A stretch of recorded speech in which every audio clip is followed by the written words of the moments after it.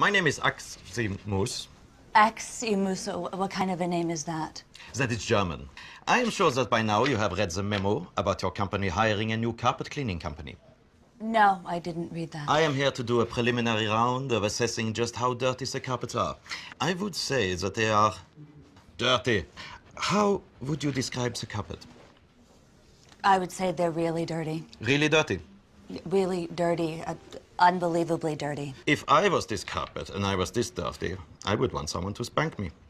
Wouldn't you? I suppose so. You suppose what? I suppose I'd want someone to spank me. Ah, good. Okay. We can clean the carpet softer or harder. Which do you prefer? Uh, well, which is better? Well, harder. No, do it harder. Oh, one more time. Do it harder.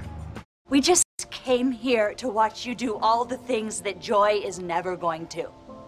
Going to school, having a boyfriend, playing sports. It's the life she was supposed to lead.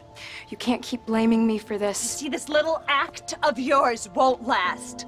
Sooner or later, you'll screw up and they'll revoke your probation. And when they do, I am going to do everything in my power to help make sure that you stay in jail. I miss her too. Just don't you dare cry. I don't know what's more disappointing to me the fact that you're unemployed, in debt, and still living at home, or that your weed stash was so easy to find. Mom, please, don't psychoanalyze me just for once. Fine. But there's a bigger problem. I'm out. Out of what?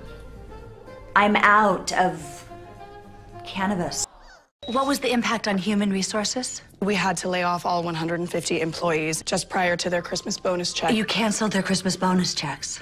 My investment firm won't like that. Uh, I included the bonus checks into their employee severance package as a gesture of goodwill. Holding firms like Bullock and Barnes tend to only look at the financial side of companies under their control. I would be lying if I said that I approved of what we just did to the Flacco company. Laying off 150 people at Christmas time is not the kind of business I enjoy being in. You did what they asked you to do.